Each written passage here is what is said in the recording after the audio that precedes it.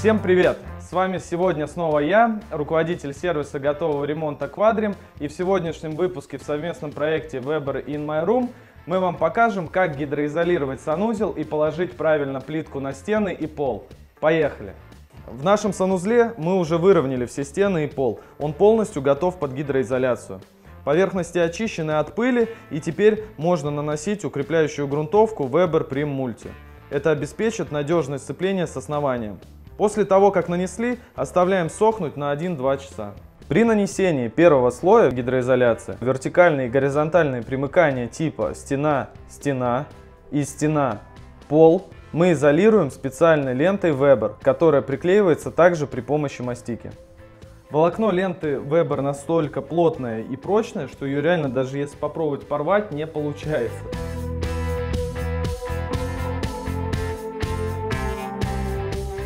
Друзья, важный момент. Полимерная гидроизоляция наносится на пол сплошным слоем с заходом на стену на 10 см по всему периметру, а также в районе мокрой зоны, то есть ванны.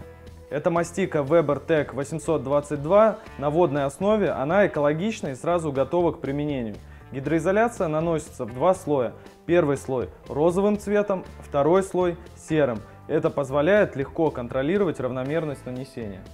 Наносим первый гидроизолирующий слой розового цвета. Ждем до высыхания по рекомендациям на упаковке от 2 до 4 часов.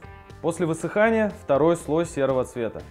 Теперь мы с вами видим всю прелесть двухцветной гидроизоляции. Мы просто закрашиваем розовую гидроизоляцию серым. При этом упустить какой-то участок просто невозможно. Переходим к плитке. Любые плиточные работы начинаются с раскладки плитки и планирования ее укладки. Важно максимально скрыть подрезанные части. Эту работу делает наш дизайнер, поэтому мы спокойны. Мы работаем по проекту. Замешиваем клей. Обязательно смотрите инструкцию на упаковке. Мы используем Weber Vitanit Granite Fix. Это пластичный клей, он классно подходит для облицовки поверхностей керамогранитом, керамической плиткой и клинкерной плиткой. Небольшое количество клея наносится на стену и разравнивается зубчатым шпателем. Затем плитка вдавливается в основу клея.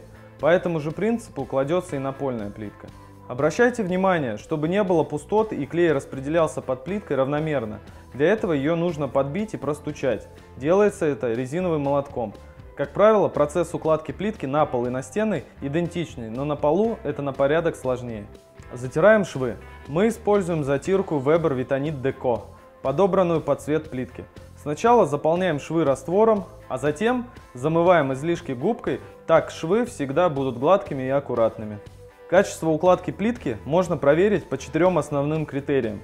Качественная подрезка плитки без сколов, равномерность и идентичность швов, аккуратная затирка швов, стыки четырех плиток должны быть в одной плоскости и не выпирать, а также Важно обращать внимание на качество приклеивания. Проверить качество можно простукиванием. Звук должен быть глухим. Это значит, что воздуха под плиткой нет и вы можете быть спокойны. Друзья, на этом наша работа окончена. Надеемся, сегодня вы получили много новой и полезной информации.